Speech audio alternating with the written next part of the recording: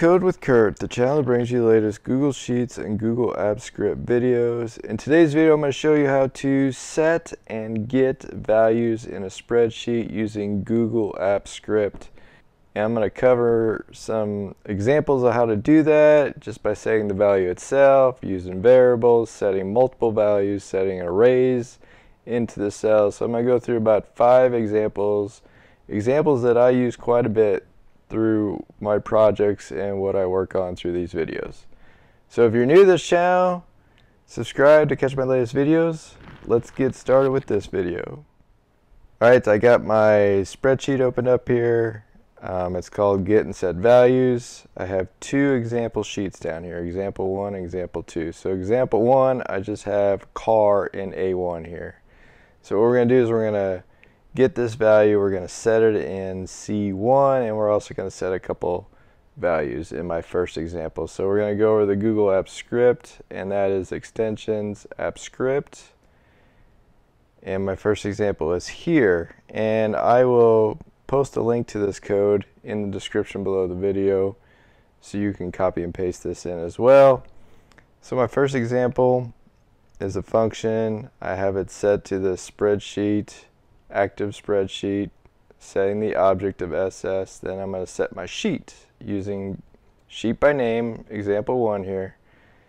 And then from there, I'm going to use sheet here. Is my variable here. I'm going to use get range. I'm going to use A1, first value. And I'm going to say get value. So I'm going to grab the value out of A1.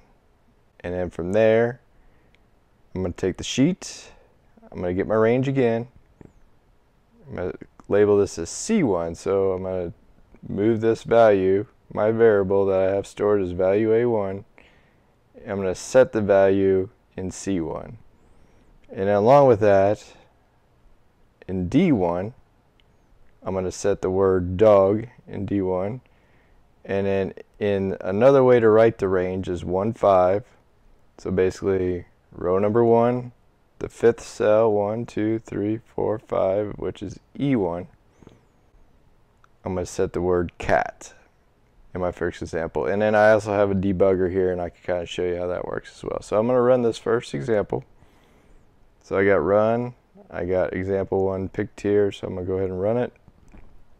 It's going to run. It's completed.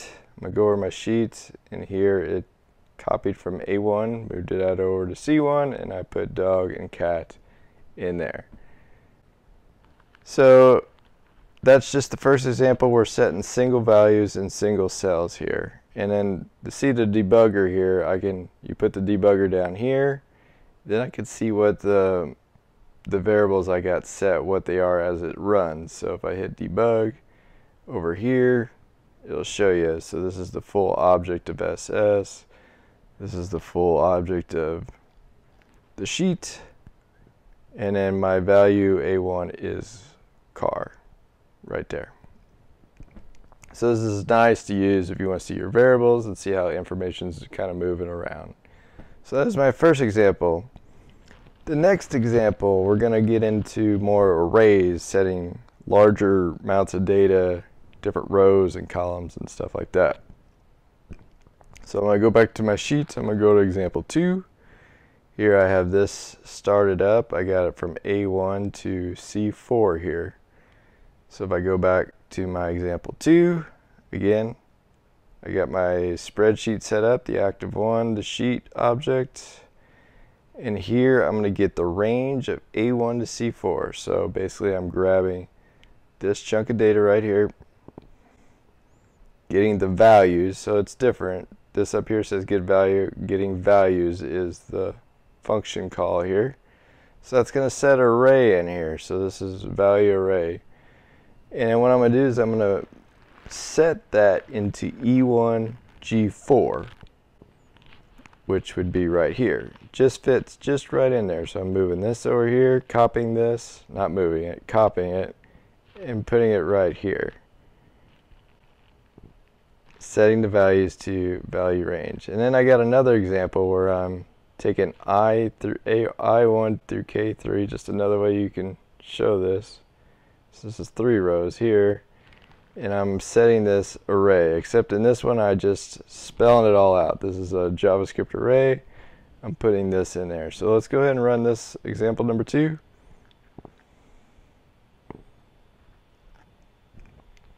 So that is done and I could check over here. There I just copied this, moved it over here, and then I set that array in here. A couple things to note. If you do, say I brought this down to just row three, like that, and I go ahead and run it, I'm going to get an error. It's going to tell me I don't have enough room to fit this in. So you got to make sure you have the right amount of room for this to fit in if you're going to set it somewhere in the cells here. So I'll switch that back to G4, hit save. And then the next three examples, I'm just going to show you some different ways you can append stuff. So in the example two, I'm going to be grabbing the data again from A1 to C4. And then from here, I'm going to append a row from the value range 0. So if I go through here, I'm going to run the debugger on this one, and then I'll show you what it's going to do. So I'm basically going to take the first row off of this here, and I'm going to append it to the sheet. Now, appending what it does is it takes the last row that you have populated anywhere on the sheet and it's going to find the next open row. So that would be row 5 here. So that's just going to put it right here, starting with the first column and going over. It's going to pin the first row of my array. So if I run this, well, well I'm going to do the debugger on here so I can show you what what I'm talking about the array here. So let's do example 3. Well, I just ran it so what it did is it added D, A, and A, but now let's run the debugger on this. So it's going to add another row yet to the bottom of that. So my array is this. I'm just doing the zero here. So D, A, and A is what I'm appending. And that's why I put the zero here in my array, calling the first, that's the key of the first row. So if I go back to a sheet, I put another row here as well. And if I keep running this, I'll just keep putting rows of rows of this first one here. So then how do I get, how do I pin all my rows in this first bunch right here to get put in right here? So what I'm going to do is I'm going to put that in a for loop in the next example. So again, getting A1 to C4, get values, now I'm going to iterate through this whole thing. So I'm going to start with 0.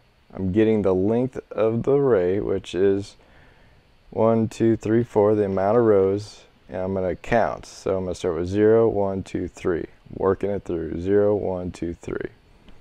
And that's going to append it to the sheet. So it's going to take all the rows and put it at the bottom. So I'm going to stop my debugger. I'm going to row, run example 4 here. So I'm going to select 4. I'm going to run it. And that's going to append these rows, all four of them, to whatever I had on the bottom. Right there like that. So I can just keep adding to the bottom. And in my last example, I'm going to show this in the debugger. What this does is I'm using this function called get values with this function of get data range. Basically, this is going to grab all the data on the sheet and put it into an array.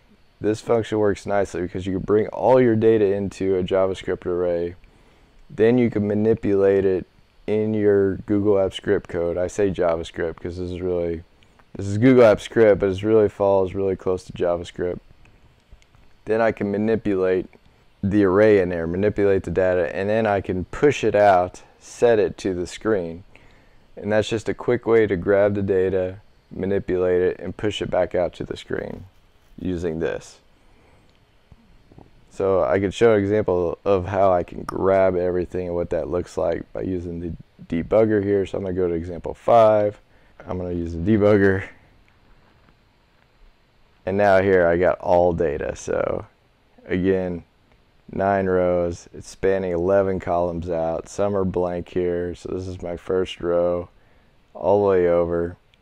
It's just extracting all, basically this is my array, this range right here. And if you get down to like row 10, a lot of these are just blank. If I go down here, which would be row 9 since you're starting with the zero value.